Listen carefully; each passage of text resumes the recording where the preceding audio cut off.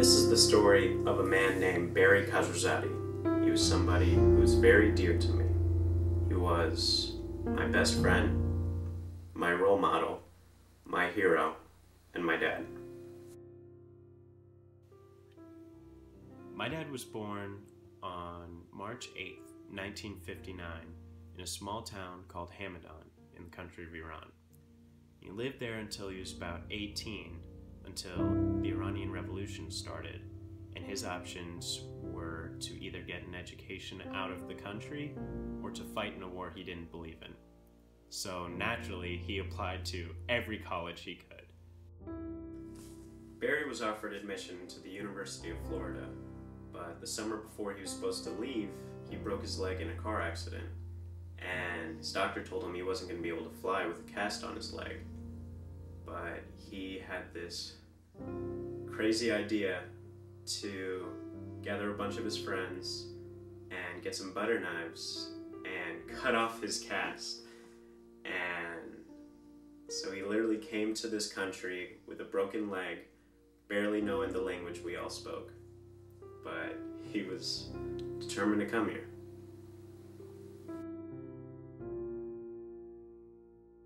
It wasn't until he met a very special lady named Susan Tate that he finally began integrating to our culture.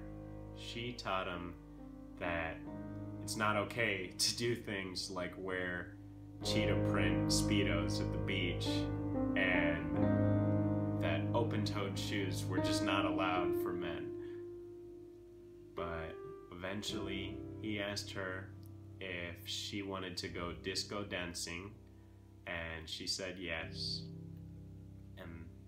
Relationship took off from there.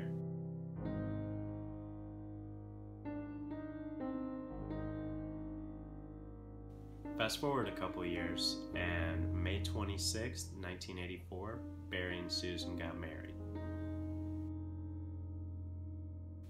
My dad used to always talk about how important family was to him. And he used to always let each one of us know how much he cared about us and how much he loved us. He would have done anything for us, and I genuinely believe that. I always loved spending time with my dad, especially towards my adult years. We got very close, and he always knew how to make me laugh and how to put me in a good mood.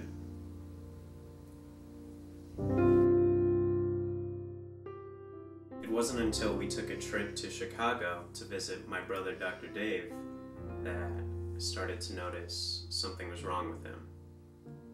His back was killing him and he didn't have the energy for anything, and that was just so unlike him. He was the strongest person I knew, and he didn't even want to go out with us. Months later, January 2015, my dad's back pain got too bad for him to handle. And so he went into the emergency room and got a CAT scan, and it showed that he had four lesions along his spine.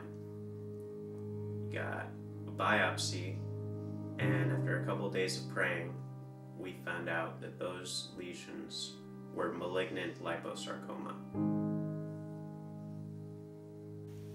After a failed experimental study, he started his first round of chemotherapy and he started to notice his hair was falling out, which meant he lost his magnificent mustache and he went on ahead and shaved his head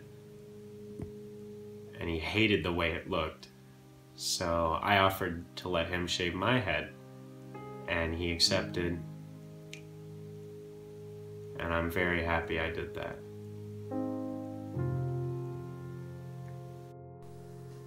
My brother David described his cancer as a lock and all the different kinds of treatments as a ring of keys.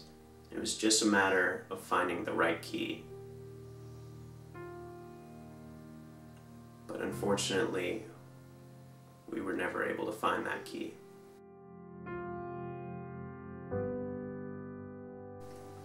The last words I ever heard my dad say were to my mom. And He said, Susan, can we please go to bed now? I sat in his room and I held his hand until his final breath. My dad passed away on October 3rd, 2015.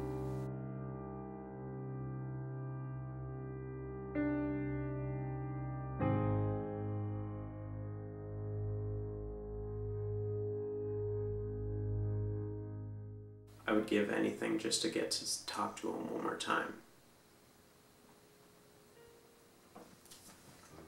He was the best man I ever knew. And I'm not quite sure how to deal with losing him.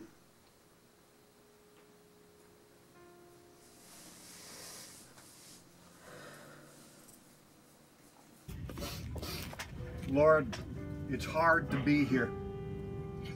It's hard to let go. It's hard to say goodbye. Lord, we don't want to do these things, and yet we have no other choice. Please walk with us. Please weep with us. And then please dry our tears. And let us feel, let us see, let us sense your love and your compassion. Even now, even here, even in our pain. Amen. Amen. My dad was so much more than just somebody who got an illness and passed away. This is the story of his legacy. This is a celebration of his actual life. As he was the strongest man I ever knew. It's up to me and my brothers to carry on his great legacy and to do everything we can to make sure he's proud in the afterlife.